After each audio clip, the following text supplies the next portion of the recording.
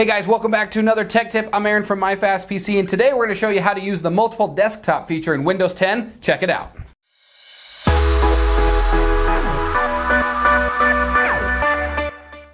So before we get started with today's meat of the video, I want to go over the new YouTube thing, the new notification system that they have. In order for you to get our notifications that we've put out new content, you'll need to go ahead and click the little bell icon right up here, and that will allow you to get our new stuff here. Also, don't forget to hit the subscribe button. We love you here hanging out with us.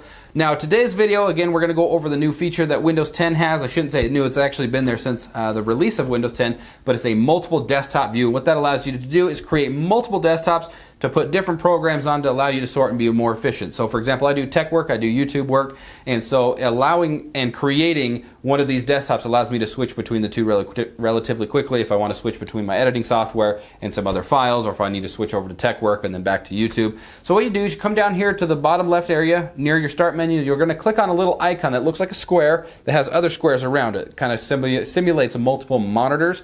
Click on that, you'll notice a little bar will come up on the bottom that says desktop. Down at the bottom, you can click on New Desktop in the bottom right hand corner, and this will allow you to create a new desktop and allow you to put different tasks or different programs on that. So if you have one program open up on a desktop number one and you want to put it on desktop number two, go to the desktop that that program is open on, click on the little desktop icon, or the multiple desktop icon, and then you'll want to click that window and drag it down to the new desktop, and it will move that program to that second desktop.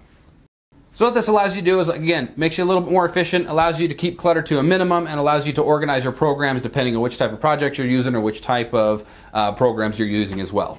Hey guys, thanks for watching that video. If you learned something today, give it a like, give it a thumbs up. If you hated it, thumbs down. Share this video to somebody that you know that could use this information and learn how to use Windows 10. Also, check out our new videos. We've got tons of them, new content coming out every Tuesdays and every Thursdays. Once again, thanks for watching. Don't forget to hit the subscribe button. We will see you next time.